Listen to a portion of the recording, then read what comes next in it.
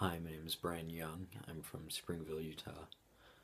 Um, I want to tell you about an experience with my daughter Holland. Um, about five years ago, she was diagnosed um, with a brain tumor, and uh, over the next several uh, months and and about 14 months, um, she had multiple brain surgeries and, and chemo treatments, and um, eventually passed away um, from a different brain tumor than the one she originally had.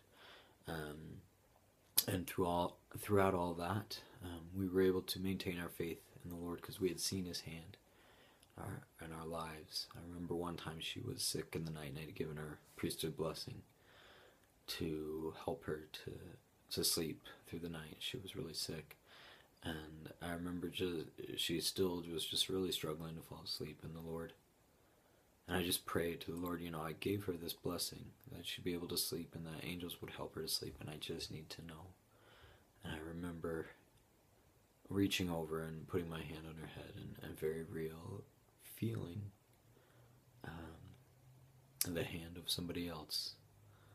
Um, and in the morning, we asked her um, how she slept because she was able to sleep the rest of the night. And she woke up and she said, um, "I, I slept good because the angels helped me to sleep." And we said, "What? What do you mean the angels helped you to sleep? Did you see anything?" And she said, "I saw. I couldn't see them, but I could see their hands. They had bright white hands, and they gave me a special prayer like Daddy gives me. And they." And we said, Well, did you see them? And she said, I could see one, two, three, four, five. And she pointed to places in the room that she had seen them. And I remember after that, we knew that the Lord was mindful of us throughout this trial.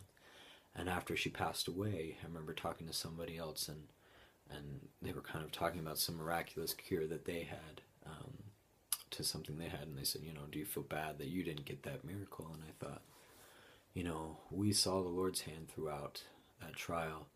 And the miracle that we received is the atonement. We know that she will live again. We know um, that because Christ died and was resurrected, that she will be resurrected and that we will be reunited as a family because of temple covenants and, and things that were able to help us to stay close as, together as a family. And I know these things are true, and I say these things in the name of Jesus Christ. Amen.